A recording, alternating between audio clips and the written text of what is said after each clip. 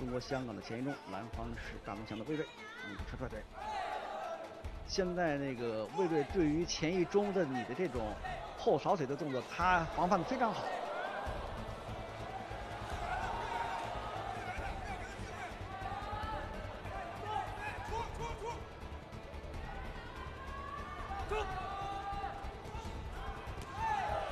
那么现在来看，现在魏巍和第一回合一样啊，我就不给你这种空间，逼着对手。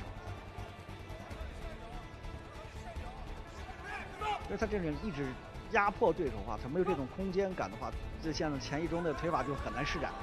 嗯，从拼拳来看，呃，魏瑞的出拳的速度和力量又好于钱一中，所以这样打的话，钱一中就显得被动。